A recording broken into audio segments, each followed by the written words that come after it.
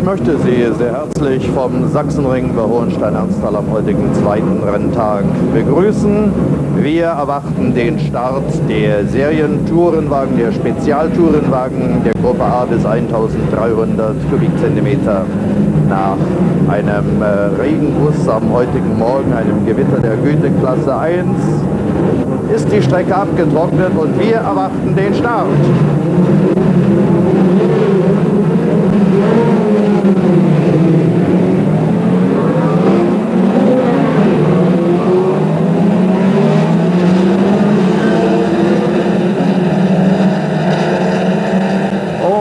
Wird es hier unten erst einmal eng, wenn es in die erste Schikane hineingeht. Der Trainingsschnellste hat sich an die Spitze gesetzt und das ist Klaus Bulke von äh, Fernsehelektronik Berlin und hinter ihm ich Hans-Joachim Görgel aus Zeden.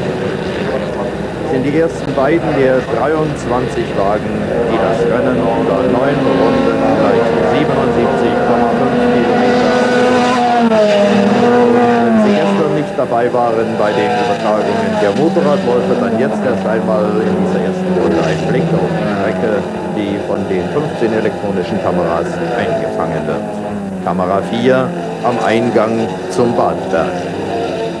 Die Rechtskurve und nun links hinein und hinauf geht es. Die Steigung, da haben Sie mit der 97 Hans-Joachim Gorgel. Kamera 6 am Badberg. Dann werden die Fahrer oben an der Lutherhöhe in Empfang genommen, dem höchsten Punkt der Rennstrecke.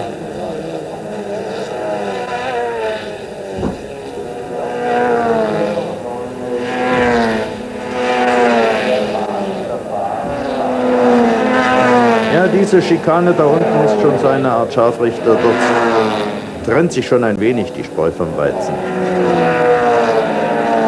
Klaus Gohlke Vorjahr, nein, 1987 war er DDR-Meister, jetzt in der MTS-Kurve. Oh, da hat er ein bisschen Probleme. Aber der Abstand zum nächstfolgenden ist im Moment für ihn noch beruhigend. Und parallel zur Autobahn geht die lange Gerade hinüber zur Kurve der Jugend.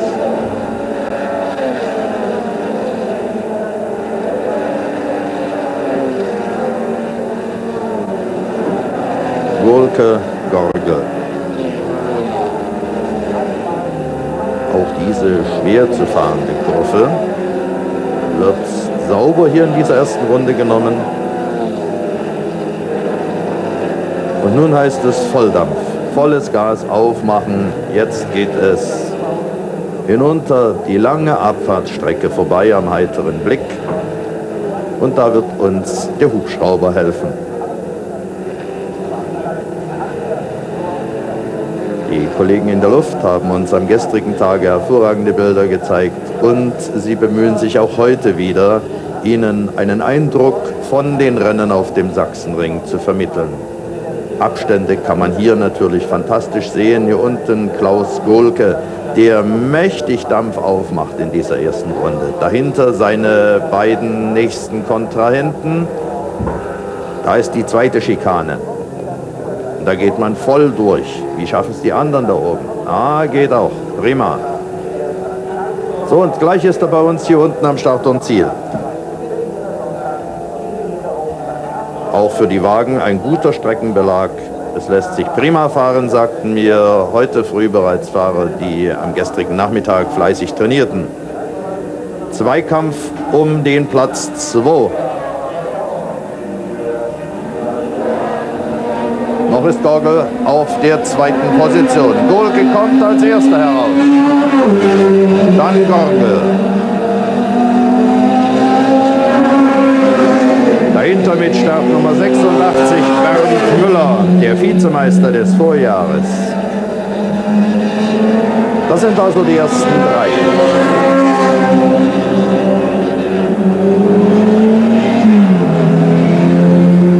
Ah, mit mächtigen Gurke, Gorgel, Müller.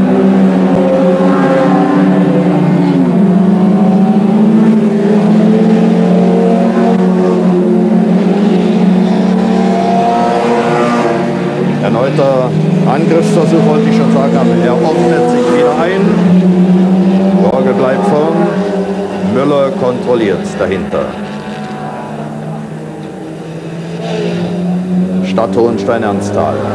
Die beiden Kampfhähne.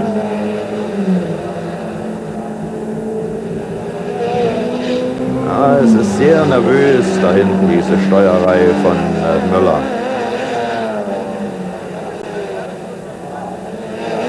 Diesen Kurveneingang hat er gut bekommen.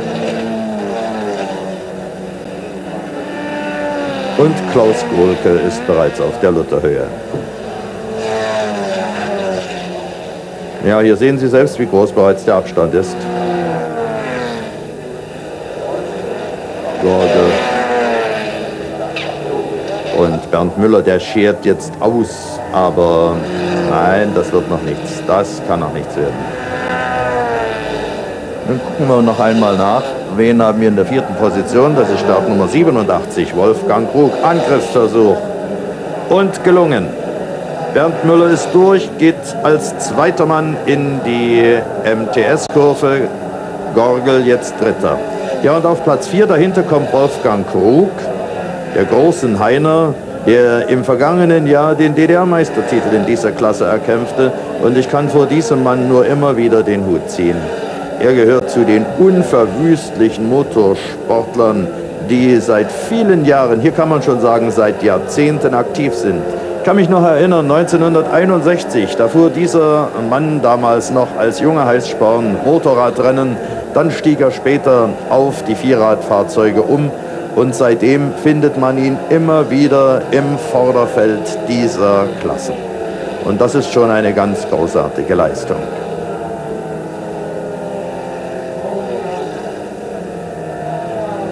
Hier unten links sehen Sie Klaus Gohlke auf der Abfahrt, jetzt am heiteren Blick vorbei.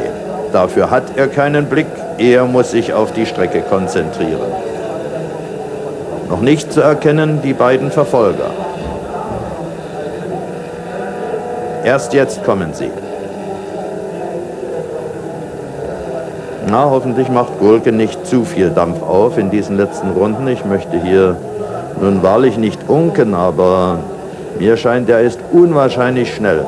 Und bei diesen Temperaturen, ja, es schwül warm hier draußen, um nicht zu sagen heiß, da müssen natürlich auch die Motoren das Letzte hergeben. Bernd Müller, konnte man sehen, hat sich gelöst von Gorgel.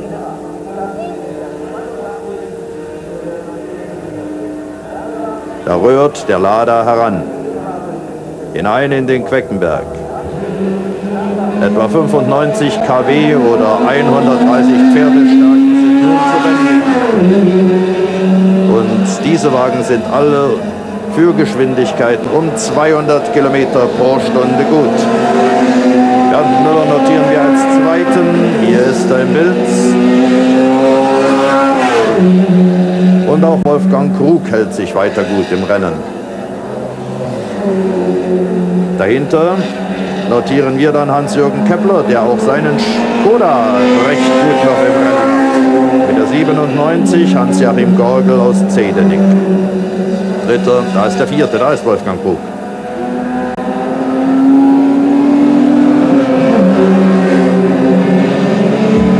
Müller, Gorgel.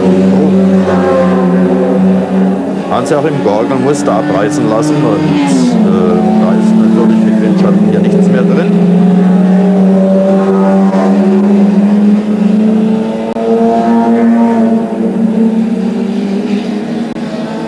Die einzige rennfahrende Dame, die wir in diesem Feld haben, nämlich Bettina Siegert, die liegt zurzeit auf Platz 11 bei 23 gestarteten Wagen. Auch das möchten wir vermerken. Wenn wir sie mal ins Bild bekommen, sie trägt die Startnummer 99.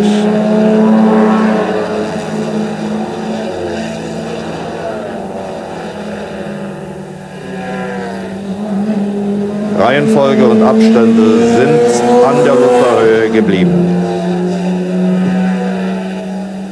Wolfgang Krug war das eben.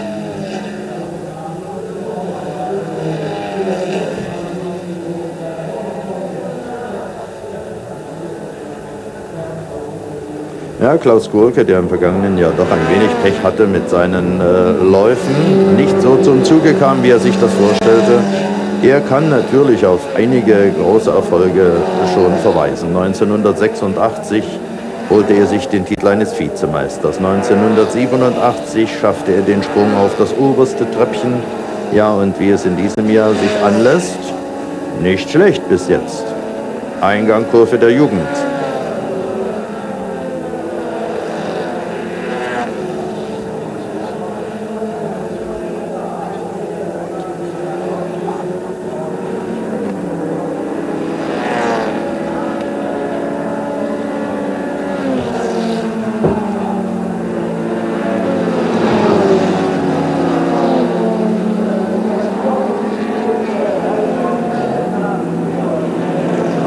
Wolfgang Krug. Er schmuggelt sich langsam hier heran an Hans-Joachim Gorgel. Also da hinten um Platz 3, da tut sich offensichtlich etwas, während wir Klaus Gohlke sehen. Jetzt möchte ich mal die Tontechnik bitten, dass sie mir mal mein Reservemikrofon mit aufmacht. Ich habe nämlich hier neben mir einen Gast sitzen, und äh, das ist Helmut Assmann aus Gotha. Helmut Assmann, der ja eigentlich der große Spezialist für die kleinen Autos, für die Trabantmotoren ist.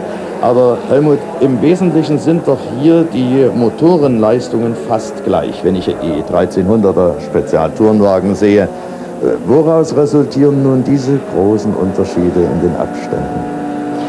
Ja, ich glaube wohl, dass es auch wieder am Tuner liegt oder an dem Fahrer selbst. Mhm. Es gibt ja auch ein kleines Teamwork, soviel ich weiß, auch in dieser Klasse. Ja.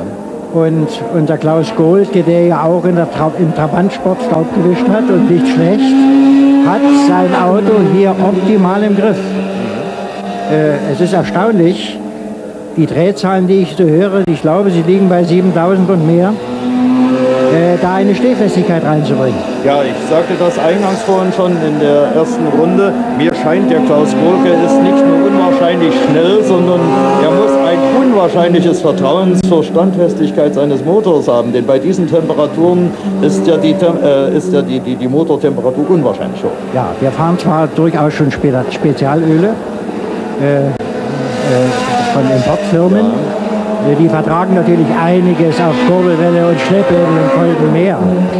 Aber es können ja auch mechanische äh, Schäden auftreten, Ausklicken der Kipphebel und so weiter. Ja. Äh, da ist mir nicht ganz wohl, wenn ich das höre, hm. um zu heurakeln. Wir wünschen ihm jedenfalls alles Gute, dem Bulke. Ja, und den anderen mit, denn ich meine, mir ist es lieber, alle kommen gesund am Ziel an und äh, mit einem intakten Fahrzeug, nicht, dass wir dann unterwegs nur stehende Fahrzeuge sehen. Hier zum Beispiel, das ist die Bettina, äh, eine junge Frau, die Bettina Siegert, 25 oder 26 Jahre ist sie jetzt. Und ich glaube, äh, Helmut Assmann, äh, Sie aus Ihrer Warte können sicher auch bestätigen, so schlecht sieht sie gar nicht nicht aus. Nein, es ist erstaunlich, eine Amazone. Es frischt das Feld auf und Hochachtung vor den Frauen. Ich möchte sagen, sie sind eben zu solchen Leistungen auch einfach fähig. Mhm. Nummer 99, Platz 11. Vielleicht kann sie sich noch um diese oder jene Position verbessern. Schön wäre es für Sie, denn äh, wir würden uns auch freuen, wenn Bettina sich in den nächsten Jahren noch weiter steigern könnte. Auf jeden Fall macht mir der Wagen einen guten Eindruck. Sie hat auf jeden Fall das Rüstzeug vom Hause Sonntag. Der Papa tut sicher alles, um sie weiter nach vorn zu bringen. Ich habe so den Eindruck, es ist auch mehr oder weniger jetzt die Nummer 1 bei Sonntag. Mhm. Er tritt so langsam in die zweite Reihe zurück, um mal Prognosen zu stellen und das finde ich auch richtig. Ja, äh, wenn ich vorhin von Wolfgang Krug sprach, dass er schon sprach, dass er schon fast eine Legende im Motorsport ist, dann könnte man das ja von Sieghard Sonntag genauso äh, sagen. Ich kenne ihn noch als Motorradfahrer. Ja. Und er ist immer ein hervorragender Motorsportler gewesen. Das gilt auch eben für den Sieghard, genau wie für den Manfred Krug. Ja, Wunderbar. Nun wollen wir uns mal wieder dem Renngeschehen weiter zuwenden. Wir haben hier unten mit der Startnummer 91 Rüdiger Seifert aus Sangerhausen.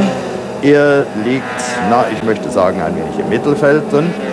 Er ist Sechster zurzeit, hm, also doch in der ersten Gruppe noch mit.